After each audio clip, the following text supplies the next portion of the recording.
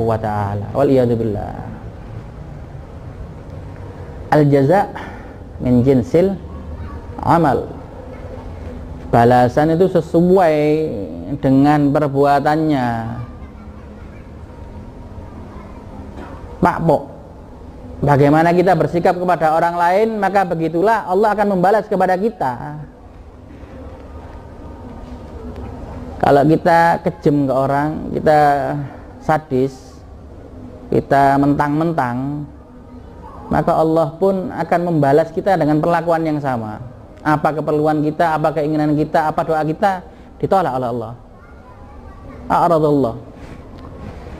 Kak mau ditolak kita. Jangan sampai kita mentang-mentang. Ini posisi, ini kedudukan, ini penyakit. Al-jah, jahat. Ini makal daripada Al-Habib Saleh bin Muhsin Al-Hamid.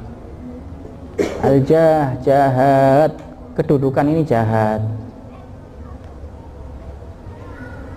Orang biasanya kalau udah dapat posisi, dapat pangkat, dapat kedudukan, semaunya sendiri. Padahal Islam mengajarkan Sayyidul Qom apa? Santri gak apa lagi?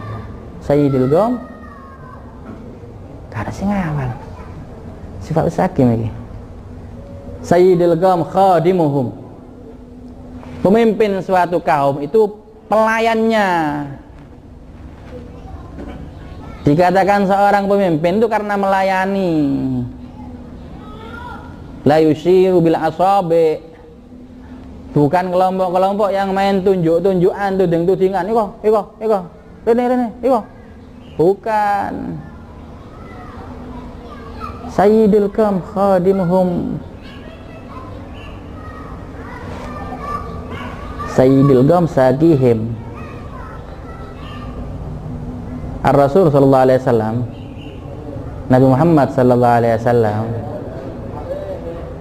itu nanti di akhirat di haud al kautsar sampai datang ke Rasulullah Insya Allah kita ketemu semua ya di al kautsar kira-kira yang ngasih minuman yang nuang sampean sendiri apa Rasulullah berani sampean minta ya Rasulullah tak tuang dewi ya Rasulullah minta air telaga kautsar wani tak mungkin lah karena Rasulullah adalah pelayan umat. Dia pemimpinnya. Sagi Rasulullah yang menuangkan air telaga Kausar. As-saki baki. Ya itu, pemimpin itu yang melayani.